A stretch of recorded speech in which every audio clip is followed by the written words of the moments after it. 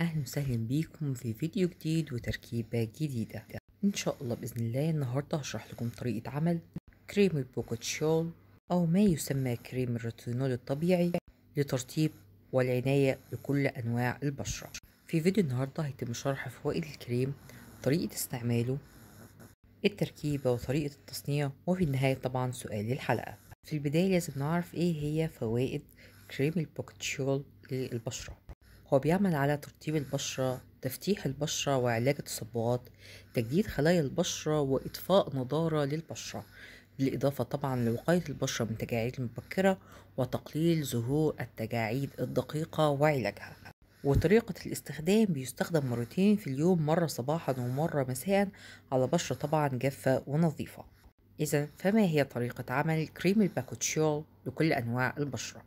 هنحتاج 140 جرام من الماء المقطر 10 جرام من الجليسرين 16 جرام من الشمع المستحلب 20 جرام من زيت دوار الشمس ممكن استبداله بأي زيت خفيف آخر مناسب للبشرة.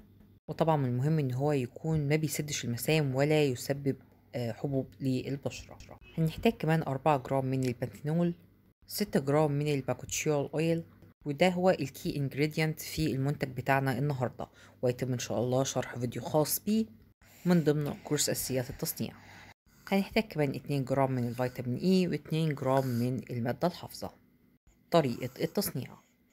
أول خطوة هي غسل وتجفيف وتعقيم كل أدوات التصنيع أدوات التعبئة وكمان هنعقم السطح اللي إحنا هنبدأ نصنع عليه.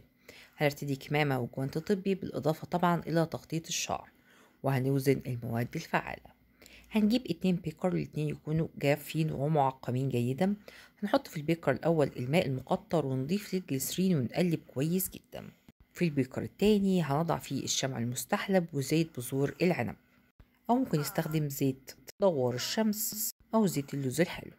بعد كده لازم نغطي البيكرين ب foil. بعد كده بنحط البيكرين على حمام مائي على درجة حرارة منخفضة لحد ما يدوب الشمع المستحلب.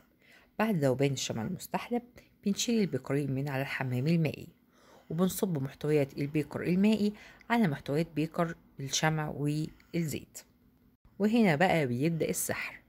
بنجد إن الخليط لونه بيبقى أبيض شبه الحليب شوية. نبدأ نستخدم ال hand blender عشان نخلط الكريم كويس جدا. وبنجد قوامه بيبدأ يتقل وبيصبح كريمي لحد ما تنخفض درجة الحرارة. وهنا بنبدأ نضيف زيت ال bakuchiol وبنخلط كويس جدا.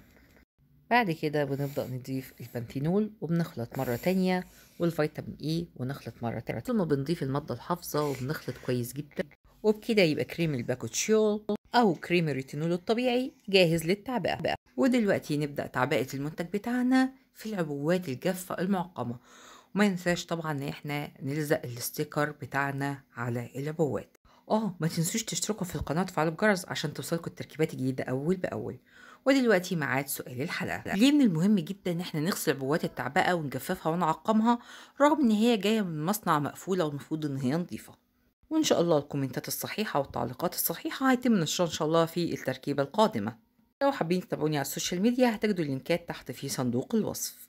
دمتم بخير حال وحفظ الله أحبائكم من كل سوء والسلام عليكم ورحمة الله وبركاته.